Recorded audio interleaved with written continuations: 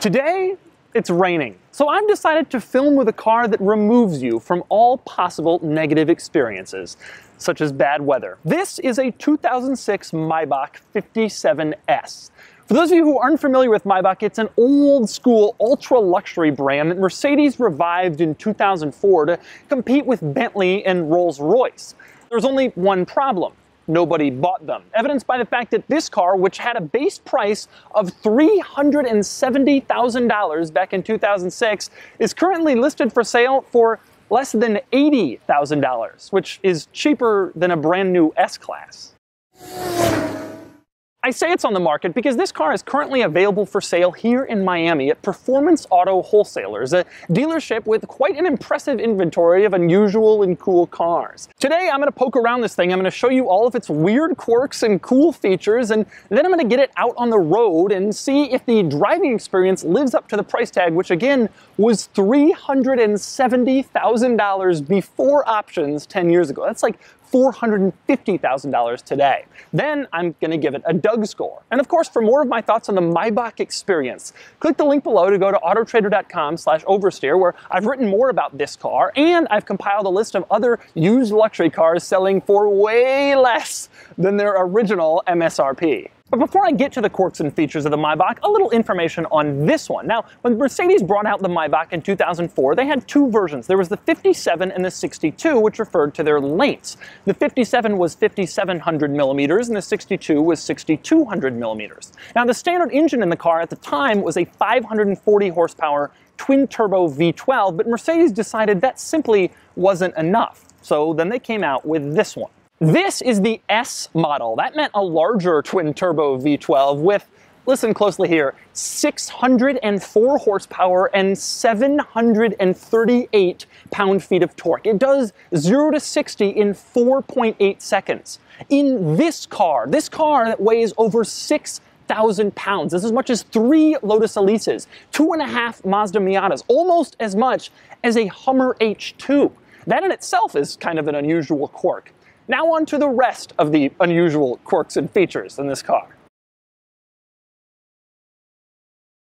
A quick glance at this car, you might not think there are a lot of weird quirks on the outside, but oh yes, there are. I'll start up front. Now, you've probably already seen the Maybach logo hood ornament. It's an M and then another M, and it makes a bunch of other M's, and you can also kind of mess with the hood ornament and put it wherever you want. That Maybach logo, however, carries on to some other places. For example, did you know that it's integrated into the headlights? And speaking of the headlights, isn't it a little odd that the turn signal kind of has this monocle over it? Also in front, if you look closely at the front wheels, you'll notice that each front wheel has not one, but two brake calipers. Every other car has one, but we have a 6,000 pound car that can do 0 to 60 in 4.8 seconds, I guess you need two. Now that helps with braking and stopping distance as you'll see when I drive the Maybach, but the downside is that new brakes are a lot more expensive in this thing than in a normal car. Next up, maybe the coolest exterior feature of the Maybach, around back on the roof, which you can't even see on the camera because this car is so enormous and tall. Now, in front there's a regular sunroof, just like a regular car, and back there's a panel with, what is that, solar panels? That's right, this car has solar panels on the roof and they're designed to power the climate control system when the car is off to keep it nice and cool inside in case you're just running into a store. That way, you don't have to leave the engine running. Instead, the solar panels do all the work. That sounds crazy, but that's the kind of stuff you get when you get a Maybach.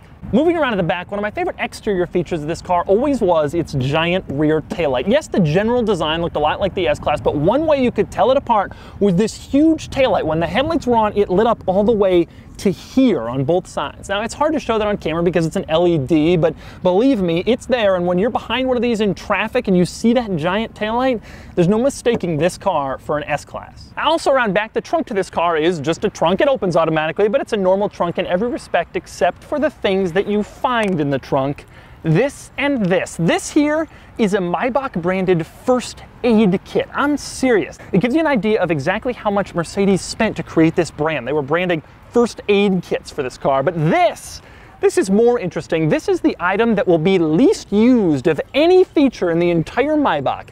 That would be the Maybach toolkit. Yes, that's right. This car comes with a toolkit as if you're going to break down on the side of the interstate in your Maybach and then you're going to get out and start wrenching on it in order to fix it and get going again. Also in back, let's talk about the fuel door. Now the fuel door is located here next to the window instead of here on the fender like a normal car. I'm not really sure why, but that's not the strange thing about it. The strange thing about it is this. That's right, the fuel door in a Maybach opens upwards, presumably so you can stick your fuel here and you don't have to worry about getting in the way of the fuel door. Nonetheless, it's surprisingly strange and, well, just surprising. The next interesting quirk is the Maybach horn, which sounds, well, a lot like you want the horn to in your pipsqueak little car, but it doesn't actually sound like that. Well, in this thing, it does. Take a listen. And since I'm already using this camera angle, I think we all know what happens next. Oh, that was nice. It gave the hood a nice cleaning as well. Anyway, speaking of the hood, on to the next quirk, which is under the hood. Most cars have an engine cover over the engine. That's pretty common by now, but in this car, however, it's a gold plastic engine cover over the engine with the signature of the guy who built the engine at Mercedes Tuning Arm AMG. Of course this car has a gold engine cover. Why wouldn't it? Moving on to the windows, you might notice that the windows have a little black outline at the top. That's not because they're bulletproof, but it is because they're a little thicker than usual in order to keep more of the sounds of the outside world out of the Maybach. Next up, moving on to the door panel, you start to get an idea of all the crazy luxury that this car is about, starting with the seat memory settings. Now, your normal boring car probably has two or three seat memory settings. This one has five. Why? Because it's that much better than your car. It also has the seat adjuster here. You can adjust everything in this seat, including the headrest, up to four ways. I counted there are 14 different ways you can adjust the seat on the door, plus another eight on the seat itself, giving you 22 ways to adjust the seat Plus, there's a massage function on top of that. And as if that wasn't enough, take a look at the door pockets. Your car probably has regular old boring door pockets. This thing has one door pocket with a lid and then a second door pocket that doesn't even reveal itself to you until you push a button, in which case it slowly glides open for you to put things in.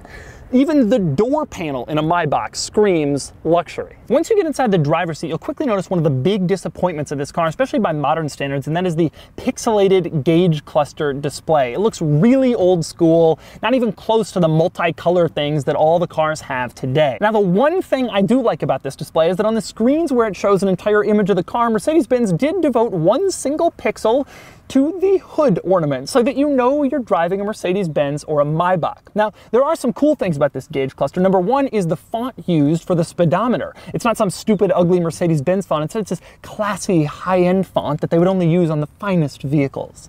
The other cool thing is the floating needles. I drove this car around a little bit and I can't figure out where the needles are centered. It's a really cool feature. Next up, when you get in this car and really start poking around with the buttons, you realize that you have some incredible touches and features in this car. For example, in the driver's seat of a lot of cars, you have the ability to drop the rear headrest so that you can see better. That makes sense. In this car, you have the ability to drop the rear headrests or raise them back up again. I've never seen that before. It's unparalleled in the automotive world in terms of screwing with the people in the back seats. In fact, there are a lot of buttons here on the center console and they do all sorts of things. It looks like there's an automated parallel parking system in this car. There's the typical buttons that turn off the parking sensors, another one that changes the following distance with the adaptive cruise control, your sport suspension, you turn off traction control, all that stuff. But the most interesting button here to me is this one. It's the one that allows you to turn on and off forward collision warning. It's incredible to me this car car, a 2006 model, had forward collision warning, and it works when you drive around and a car slows down hard in front of you, it beeps at you. This is a common feature today, but 11 years ago, nobody had this. I don't even think I knew that it existed. It's impressive. Next, what would a Maybach be without a rear sunshade? And of course, this is something you can control from the front with a push of this button hidden under here. Now, the interesting thing about this rear sunshade is it doesn't just shade you from the sun, it completely blocks it out with curtains that span the entire back window so that no plebeians can see you as you're driven down the road. Also hidden under that lid with the rear sunshade button, how about personal cup holders? Push on it and your cup holder pops right out. One for the driver's side, one for the passenger side. And so if you don't want to see the cup holders anymore, you can put them away so you don't have to look at such things. Another quirk I absolutely love about this car is the door locks. How can door locks be a quirk? Because in this car, when you press the lock and unlock button, the door locks glide softly up and softly down. You don't hear a thing. In fact, I initially thought they were broken until I actually looked at the locks and I realized they were working just very softly, which fits with the character of the Maybach. It's the same story with the interior lights. Press the interior light button and they don't just turn on, they come on slowly and then they dim slowly, brighten and dim very slowly. Nobody ever would have faulted Maybach if they didn't do this, but they did, because that's what you get when you buy a $370,000 car. Over here on the passenger side, you'll find a couple of interesting features. One of them is the fact that it looks like this car has two glove boxes. Well, push the button to open the glove box on the left, and that's actually where the phone would be stored. You push it, and then the phone is presented to you. Close that, open the glove box on the right, and you'll find, well, a glove box, but also there's a coin tray in there and a little slot for a pen. I guess that's pretty good attention to detail. Even better is the ashtray. Open up the ashtray, and, well, it's an ashtray, but if you want to clean it, slide this little lever and the ashtray is just presented to you so you can lift it right out of your Maybach gracefully. Another thing you might find in the glove box of Maybach is the owner's manual, which is in this nice Maybach leather pouch. Open it up and you will find, well, the owner's manual. It is 528 pages long. That's right, 528 pages of owner's manual. And that doesn't include the infotainment system owner's manual. Take that out and you got another 290 pages. Combine the two, and you got 818 pages of owner's manual when you picked up a Maybach in 06 and you weren't done. Here's the warranty information and the service guide and the maintenance booklet. It adds up to almost a thousand pages of stuff when you got your Maybach that you were intended to read. The last interesting quirk in the front of this car is up here. You see this thing, it looks like an air vent or maybe a speaker. Well, actually, here's something most Maybach owners probably don't even know. It's a hidden compartment. You can put stuff in there that you don't want anybody else to find, unless they've seen this video. But just because I'm done with the front quirks in this car doesn't mean I'm done with the quirks. Au contraire, the back maybe is even more ridiculous than the front. For example, in your car, the rear seats probably don't have any sort of storage in the door pockets. In this car, you got two. One's in the front, one's in the back. Both have lids so that you can keep whatever you want out of sight of everyone else. The next things you notice when you're sitting in the back of one of these are up here. Specifically, over here, you have a fold down vanity mirror that's lighted so that you can fold it down and stare at yourself as your chauffeur drives you. Even more interesting than the vanity mirrors, though, are these dials up here on the seat. They're really nice, and you might be wondering what exactly they're showing. Well, they're constantly showing the rear passengers the speed, the time, and the temperature. And the interesting thing about the speed dial is it's in kilometers per hour, even though this is a standard US production Maybach and the regular speedometer is in miles per hour. A quirk of the Maybach. Next up, we have to talk about rear storage. Now, I already mentioned the door pockets, which is kind of interesting, but back here, there's basically a chest of drawers in the back of this thing. There are four different drawers where stuff is gathered. The top one is just for storing stuff. The middle one is for the DVD player. The third one is to choose which DVD you want to be playing. And the last one is, once again, just to store stuff. It's incredible how much storage is in the back of this car, and it doesn't end there. How about my personal favorite storage item, the center console. You open it up and you'll find a spot where the Maybach phone would be, if you still had it. Open it even further and you'll find the refrigerator. Yes, the refrigerator with built-in drink holders. And yes, it is cold. I've been filming for four hours. The car's been on, off, whatever. It feels nice and cool in there. There's also a storage compartment behind the front center console that is incredibly small, but uh, it's there. You can put stuff in it.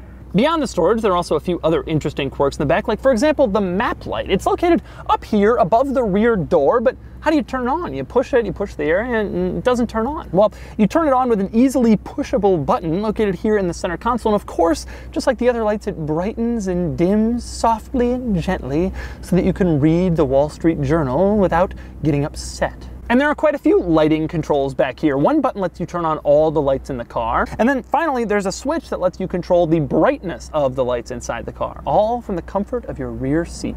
Other interesting features in back, how about the fact that the rear seats are also power operated? Of course they are. And more importantly, that they also have five memory settings in case various different tycoons have to come and sit back here. Another interesting thing is, of course, that the rear seats are heated. That's no surprise. And then finally, you have my favorite rear seat luxury car quirk. This little button changes the seat controls from front to rear. So if you're sitting in the rear passenger seat of this car, you can adjust the front passenger seat and move it forward to give yourself more legroom. I love this thing because I love to imagine kids on a car ride screwing with their sibling who's sitting in the front seat. The rear seat also has a few other entertaining quirks. For example, you've heard about rear air conditioning vents, and this car has normal sized ones, and it also has smaller ones located on the B pillar. And then above that, it has really small, miniature little air conditioning vents that are just kind of cute and they get out just a little bit of air. I don't know why they did that, but I suspect it makes the rear passengers just a little more comfortable, so why not? Of course, this car also has rear TVs on the back of the front seats. That's not surprising or exciting anymore, but it has them nonetheless. More surprising and exciting is maybe my favorite rear seat quirk. That would be the cup holders. Well, they aren't actually cup holders. Instead, if you push them, they just barely go down. What are they for? That would be champagne flutes. They're designed to grip onto the very bottom of a champagne flute. And that thing in front, that's not designed for a water bottle, that's designed for a bottle of champagne. I am not making this up. It says all this exactly in the owner's manual, somewhere on page 732 probably. So those are all the Maybach's cool features and weird quirks. It's no surprise that it has a lot of them. Now it's time to get this thing out on the road and experience sports car acceleration in a vehicle that weighs as much as an Amazon distribution center. It definitely has a more substantial feel to it than an S-Class. It definitely feels more removed from the road than an S-Class. Uh, I don't know that it feels dramatically more of those things than an S-Class, which is surprising because it was intended to be on such a higher level than that car. Uh, the problem is the S-Class is just a really damn good car.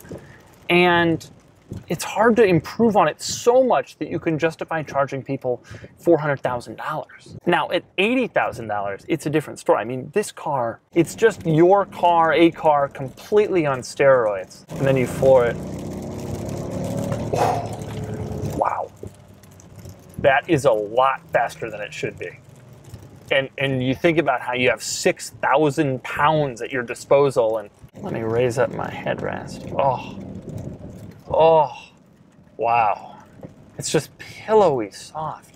And I mean, I do feel very removed from the road, just like you do in a Rolls Royce, maybe a little bit less. It feels maybe a little bit more high performance than that uh, and, and not quite as floaty and, and relaxed. It's kind of ready to go, like right now.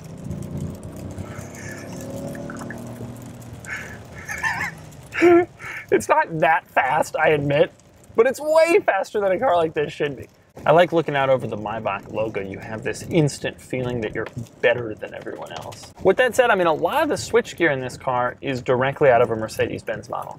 I suspect one of the problems that they ran into when they created this car is that a lot of people were coming out of an S-Class and moving up to the next level.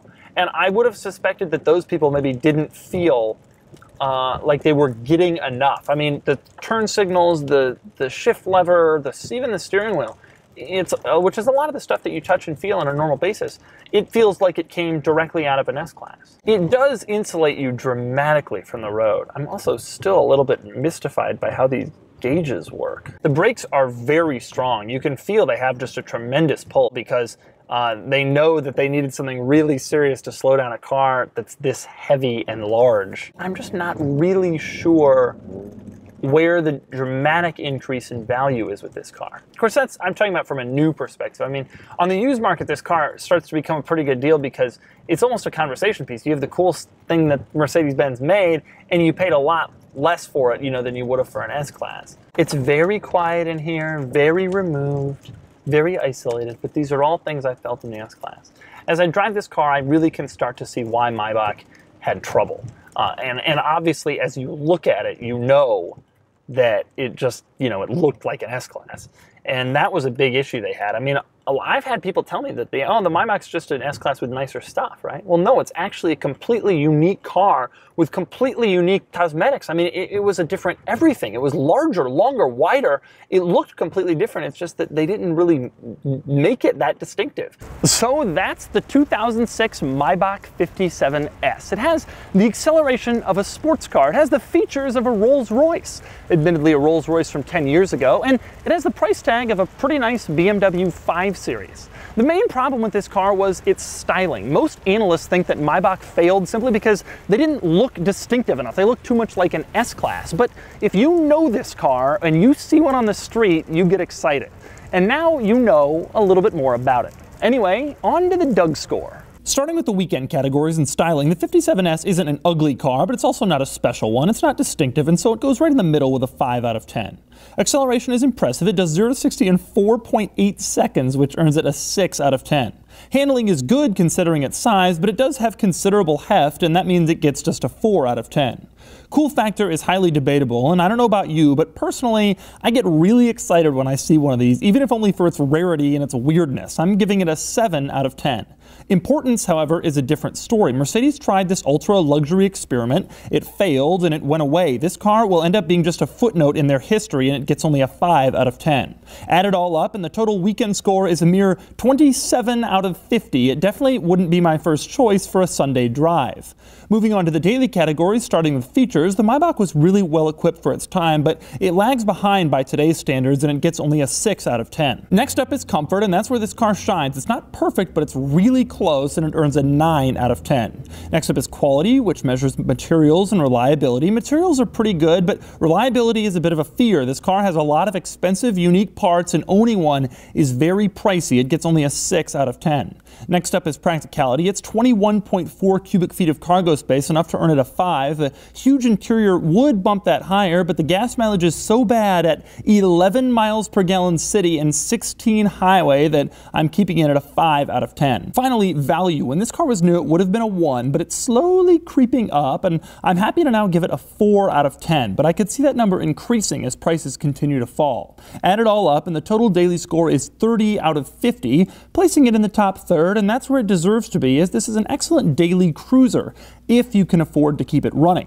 Total it up, and the Doug score is 57 out of 100, which is a decent and respectable score for a decent and respectable car that never quite turned heads like the competition.